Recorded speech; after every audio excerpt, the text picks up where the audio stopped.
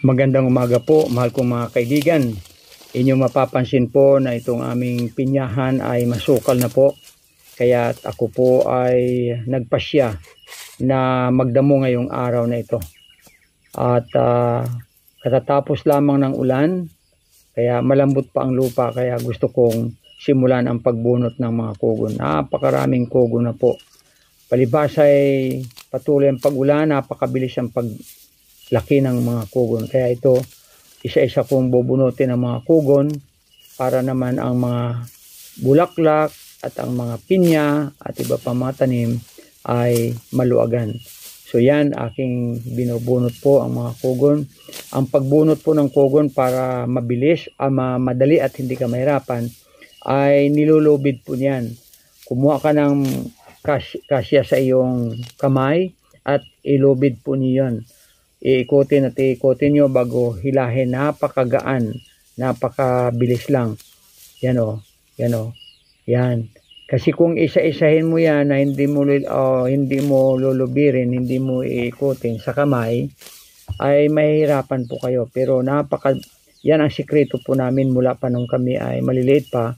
Tinuruan na po kami ng tatay namin na kung kayo ay bubunot ng kugon, ay ah, kailangan ay kumpul-kumpul na kugon at lubo, lubirin mo yan pagkatapos ay saka mo bunutin. So pag nagawa mo yon madali na lamang ang kugon ma- mabunot. Hindi rin pwedeng tabasin. Ah, mabilis lang tabasin. Ah, matalim naman ang gulo ko. Pero ang problema ay isang linggo lamang ay ang taas na naman ang kugon. So para mabagal ang pagtubo ng kugon, mahal ko mga kaibigan, kailangan na bunutin. So yan ang sinisimulan ko. Binubunot ko mga kugon eh. Para sa gayon ay madali lang silang mahugot. Yan. May mga damo talagang matigas. Matigas. Pero sinisikap ko po na ah, talagang mabunot. Yung matigas na damo po yung ah, maraming ugat. Yan, napakaraming ugat po yan. Ibang klaseng damo po yan. Napakakapalang ugat. Kaya ang hirap pong bunutin. Pero ah, dahil sa may sikreto po tayo, ay kahit gaano ka daming ugat, ay nabubunot po natin mga kaibigan. Yan po ang ginagawa ko ngayon. So, makita po nyo na marami na po akong nabunot. Oh. Yan o. Oh. Yan.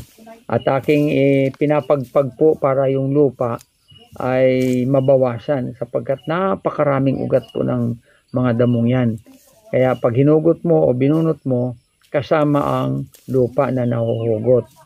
So, sayang, ang ginagawa ko, pinapagpagan ko para hindi masyadong ah, madala ang lupa. Kasi kung maraming lupa din yon, mabubuhay din yon.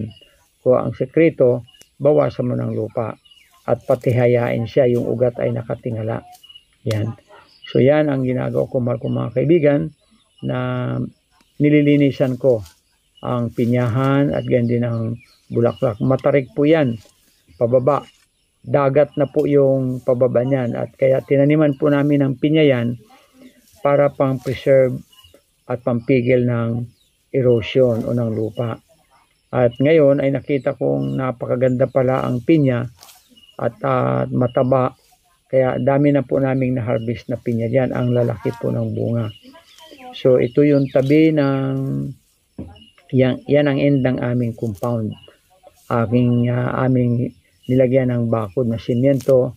Tapos pinatungan ko ng mga bugimbilya na nasa paso. Yan, kaya makikita po niya mga bugimbilya. So, ganyan po ang ginagawa namin. Uh, hinahanap namin yung mga kugon sa uh, pag-ita ng mga pinya at ito'y aking binubunot.